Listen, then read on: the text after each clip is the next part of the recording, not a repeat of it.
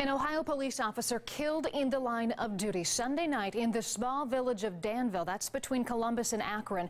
911 received a phone call from a woman. It was a cry for help and a warning for police.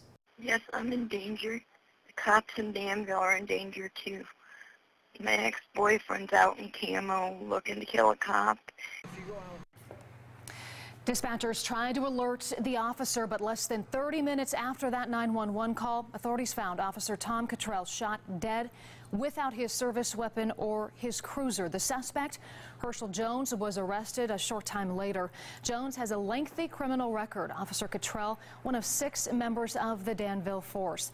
The president of the Ohio Fraternal Order of Police said in a statement, quote, his assassination is the latest reminder of how dangerous police work is and how the police are targeted for violence. Meantime, fellow law enforcement showing their solidarity and their sorrow.